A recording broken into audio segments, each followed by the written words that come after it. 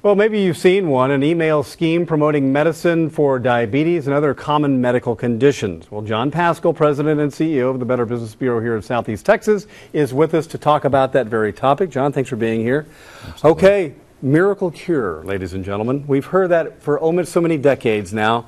Is there such a thing, and why are people being taken in by this? Well, there certainly can be miracle cures, but what often happens, Greg, people are taken in by this scheme. They get an email or something, uh, maybe something on a website that indicates a miracle cure, in this case for diabetes.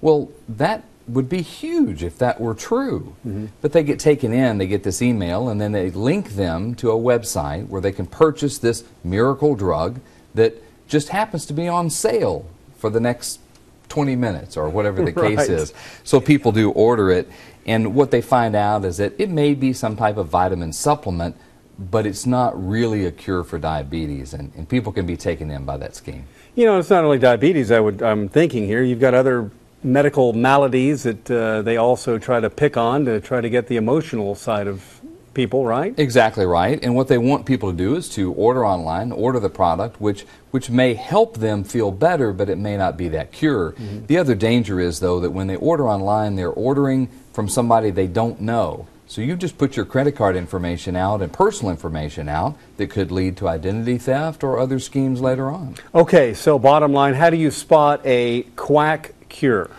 It is, there are some flags you can look for. One, they do claim it's a miracle cure, but there's a conspiracy to keep it secret. You won't know about it. Uh, something that uh, the government's trying to keep you from finding out. That's why you must find it only from us. Mm-hmm. Well, we know that if there was a miracle cure for diabetes, it would be all over the news. It would be well reported, not, not just on their website. One product does it all. It cures diabetes, it cures the common cold, and it fixes your hangnail and toe fungus. oh, I, I, mean, crazy things that, that they claim. Personal testimonials, they may use um, uh, large organizations, NASA, Harvard, John Hopkins, but hmm. personal testimonials from celebrities, but not scientific evidence or studies to back up what's actually in it or uh, effects of this miracle cure, if you yeah. will. It's all natural. Something could be all natural, but it may not be safe. It may not even be legal, but it could be all natural. That doesn't necessarily mean it's, it's good or a miracle cure. Certainly, consumers want to be cautious. Check with their doctor before they take any drug that they think may be a miracle cure. That's it's been used for years, but it does take, still take people in. All right, John. If you have any questions, be sure and contact the BBB. Correct? BBB.org, 835-5348. All right, John. Thanks so much. Great insight once again. Thanks for being with.